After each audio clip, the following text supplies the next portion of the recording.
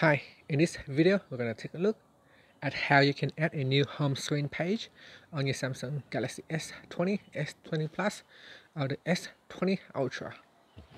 Now first let's uh, go back to your home screen by tapping on the home key and then tap and hold to your home screen.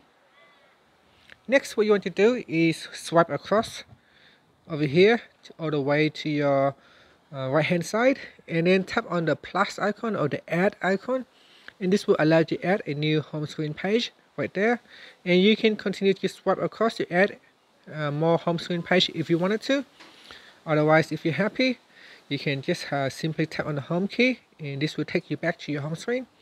Now you can see if you swipe across now there is an additional brand new home screen page for you.